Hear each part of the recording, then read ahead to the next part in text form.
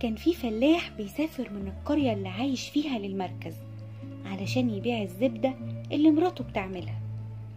كانت كل قطعة على شكل كورة كبيرة بوزن كيلو جرام باع الفلاح الزبدة للبقال واشترى منه اللي محتاجه سكر وزيت وشاي ورجع للقرية تاني.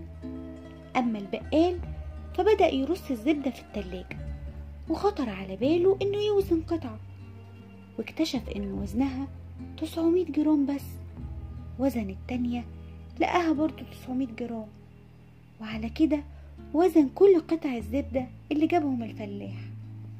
في الأسبوع اللي بعده رجع الفلاح للبقال كالعادة علشان يبيع له الزبدة.